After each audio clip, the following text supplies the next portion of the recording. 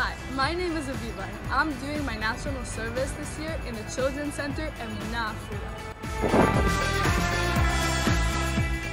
After staying here for a few weeks, the staff and children went to their homes for Pesach. Because the coronavirus is spreading quickly, we organized the campus into separate quarantine areas for each group to make sure it's a safe place for everyone to come back to. בבתים, בחצרות, יש צבעים, קווים, צורות. יש אוויר חדש לנשום, גם בלב שלי פתאום נפתחים החדרים, וכמעט... During the quarantine, we hang out together, play together, eat together, and do lots of activities, such as biking, learning, cooking, carpentry, basketball, soccer, and more. כבר חוזר שוב לתמונה, אחרי עשרים שנה שעמד לו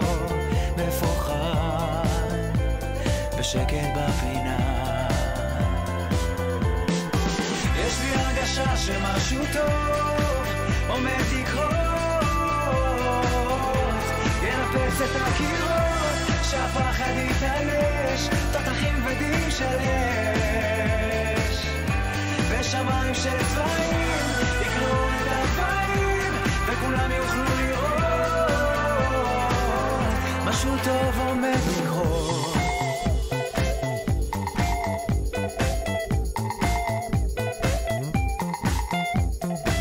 יש לי הרגשה שמשהו טוב עומד לקרות.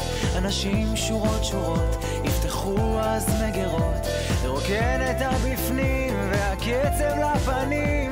יתופף על השגרה ישאיר לנו ברירה בגינות יטמנו להן כוסות ואורות במרפסות important to us to give everything we can so the children will have everything they need. We hope the coronavirus will pass quickly and we'll all be able to go back to our regular routine.